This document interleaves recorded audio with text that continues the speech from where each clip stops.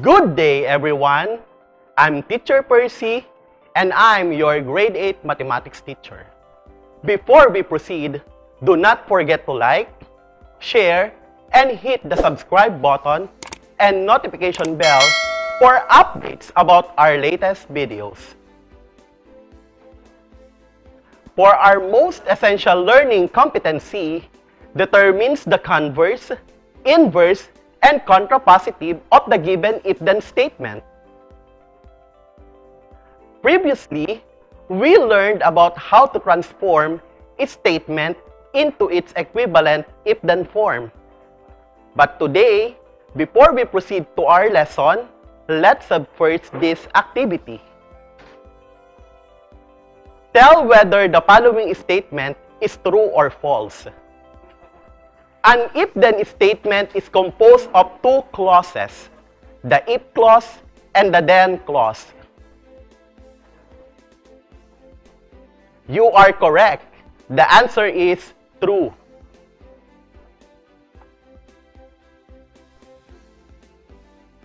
We can denote a letter for each clause P for the if clause and Q for the then clause. The statement is in the form if Q, then P. You are correct. The answer is false because it should be if P, then Q. Conditional statements are formed by joining two statements P and Q using the words if and then. You are correct. The answer is true. The if clause is called the conclusion and the then clause is called the hypothesis. You are correct. The answer is false because the if clause is the hypothesis and the then clause is the conclusion. A simple flow of reasoning from if clause to then clause is called simple implication. You are correct. The answer is true. In the statement, if you are at SM, then you got it all, the clause, then you got it all, is the conclusion. Correct. The answer is true. In the statement, if x is equal to 2, then x plus 3 equals 5, the hypothesis is if x equals 2. You are correct. The answer is true. Now, let's have our activity number 2. All pics in one word. Give one word that will best describe the following pictures. You have 10 seconds.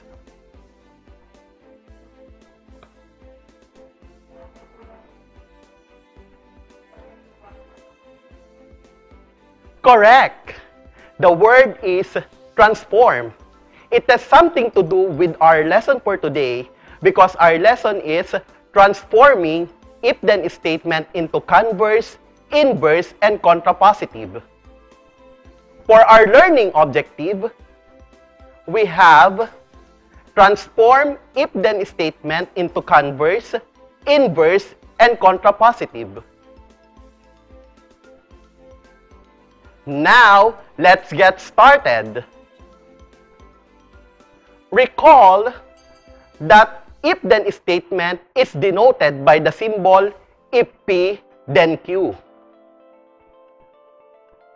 And now, we will proceed to our next activity, which is the three-way of transforming if-then statement.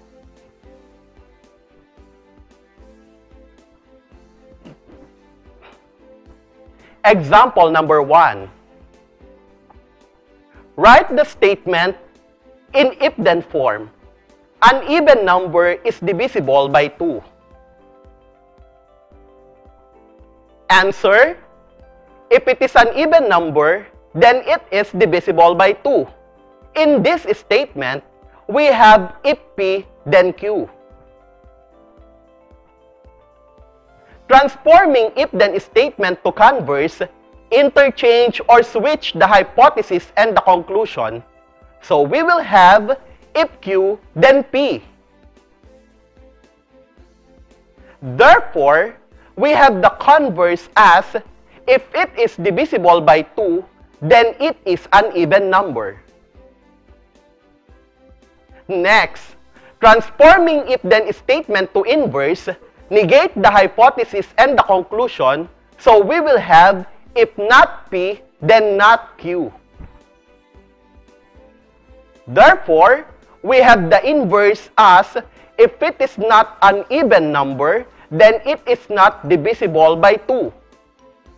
Next, transforming if-then statement to contrapositive, switch the inverse. So we will have if not Q, then not P. Therefore, we have the contrapositive as if it is not divisible by 2, then it is not an even number.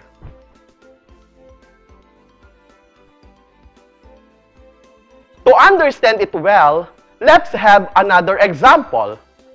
Write the statement in if-then form.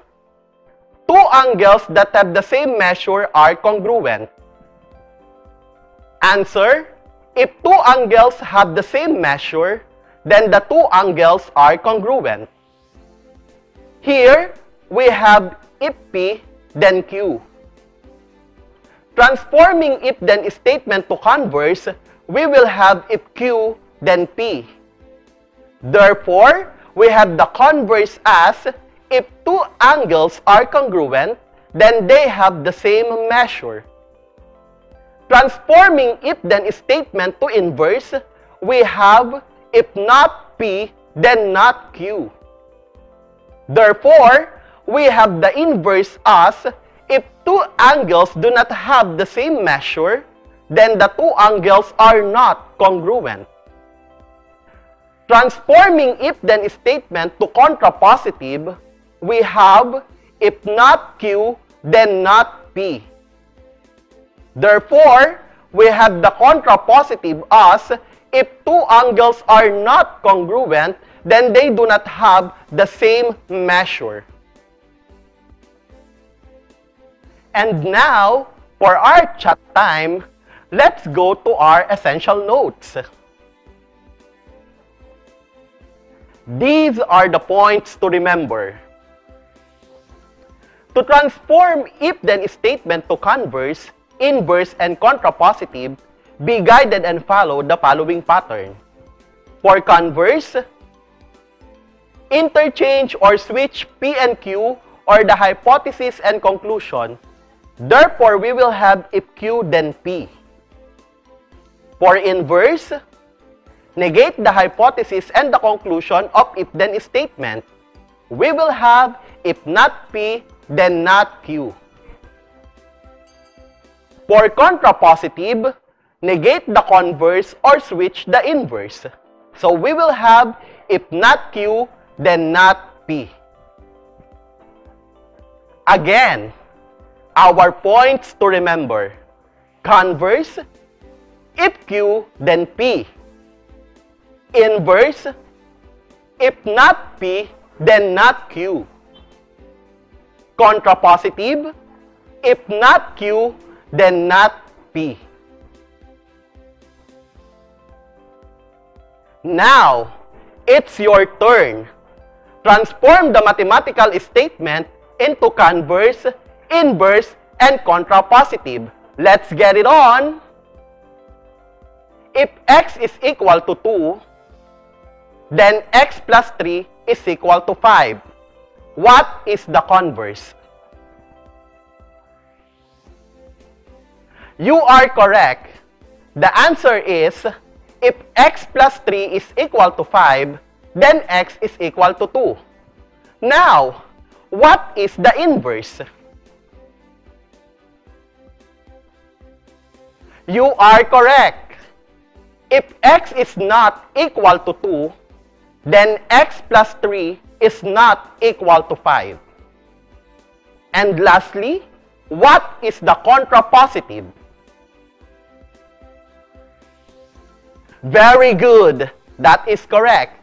If x plus 3 is not equal to 5, then x is not equal to 2.